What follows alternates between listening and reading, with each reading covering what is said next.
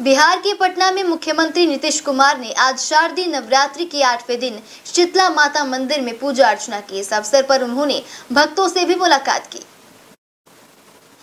मुख्यमंत्री नीतीश कुमार ने पटना के शीतला माता मंदिर में नवरात्रि के आठवें दिन विशेष पूजा अर्चना की। उन्होंने मंदिर में उपस्थित भक्तों से बातचीत की और उनका हालचाल जाना। सीएम नीतीश कुमार ने मंदिर में माँ शीतला के प्रति श्रद्धा व्यक्त करते हुए आशीर्वाद मांगा।